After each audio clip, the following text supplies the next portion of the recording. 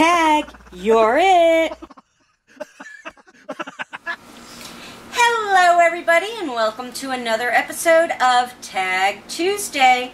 We were tagged by Angie Lupus Life to do Dave's Tag, October 10th, 2014.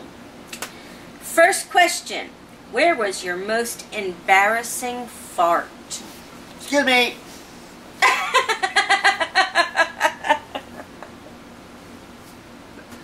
I would say that probably I'm, I the only ones I remember is when you're shopping and you fart, but you have to keep going. You're just gonna leave it behind you Crop dusting. before, before no, anybody realizes it was you who left it. I was in a museum at one time, and uh, very posh, upscale museum, and you know, got to be very prim and proper. And it's like, uh oh, I farted. Better get on to the next section That's real right. quick. And was silent but deadly. He's just like that exhibit really stinks. The last place you were naked in public. I probably when I was born. I don't know. I've, I've never Yeah. been. I've never been naked in public. I I went skinny dipping as a teenager in um, a friend's pool. It was a bunch of girls. What is the dumbest name you ever heard of? The weasel. I'm gonna pick something from an episode of Friends, Banana Hammock. Um, a word that is not dirty but sounds like it is. Fork. Moist. Uh, something you only use once. uh, napkin. A tampon.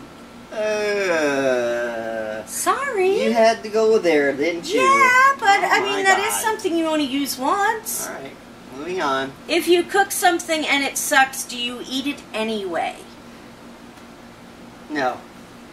If I cook something and it sucks, uh, yeah, I wouldn't eat it. If I cook something and it sucks, do you eat it? You don't make anything that sucks, dear. Good answer. no, if I cook something and it and it sucks, I usually don't eat it either. Um, ever have had a cat jump on your car at a stop sign? No, No. that's a weird question. I had a cat jump in my car when I lived in New York, and it was a nice day out, so I had my windows down, and a cat jumped in my car, and I had to go somewhere, so I got in my car and um, went to the store, and the cat jumped out from the back seat and scared the crap out of me. Where are we going? um, your most common dream element. Uh, lately, it's been about work or finding a job. That's the only thing I of.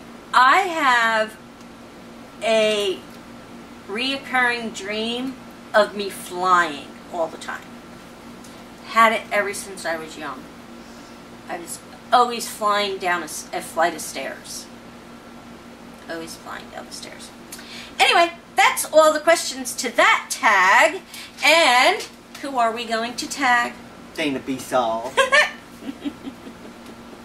Okay, I'm gonna tag Callie Baby Mama, the Buck Stop. And that's three, right? yep. Alright, so tag, you're it.